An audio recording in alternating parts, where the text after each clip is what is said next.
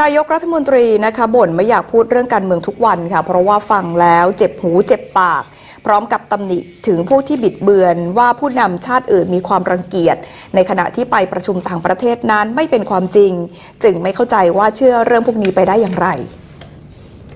ที่ตึกสันติไมตรีทำเนียบรัฐบาลพลเอกประยุทธ์จันโอชานายกรัฐมนตรี กล่าวตอนหนึ่งระหว่างเป็นประธานในพิธีมอบรางวัล การจัดการขยะมูลฝอย จังหวัดสะอาดประจำปี 2561 และรางวัลองค์กรปกครองส่วนท้องถิ่น ที่มีผลการปฏิบัติงานดีเด่นประจำปี 2561 ว่า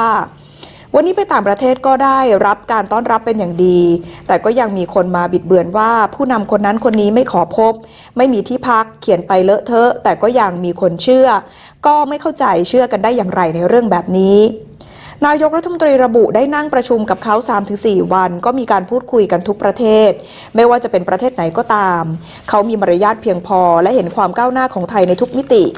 ดังนั้นต้องฝากทุกคนด้วยที่พูดถึงก็คือ ถือเป็นเรื่องของขยะมูลฝอย และหลักการประชาธิปไตยของทั้งโลก ความแตกต่างยังมีอยู่ ซึ่งเป็นสิ่งที่รัฐบาลนั้นต้องแก้ไข เพื่อส่งให้รัฐบาลนั้นเดินหน้าต่อ เข้าใจว่าเป็นการสืบทอดอำนาจ แต่ว่ายุทธศาสตร์ชาติเขียนไว้เพื่อทำอย่างไรให้บ้านเมืองปลอดภัยสงบ มีการไม่ได้เป็นการบังคับใคร จึงขอให้ช่วยกันอธิบาย สิ่งที่ เเรื่องเป็นขยะนี้ฟังตลอดไม่เกี่ยวกับการเมือง หากคนจะสามารถเข้าใจจะถือว่าสุดยอด เพราะการเมืองก็คือการเมืองอย่าเอามาพูดกันทุกวันเจ็บหูเจ็บปาก พูดอยู่ทุกวัน แต่ก็เป็นเรื่องของเขา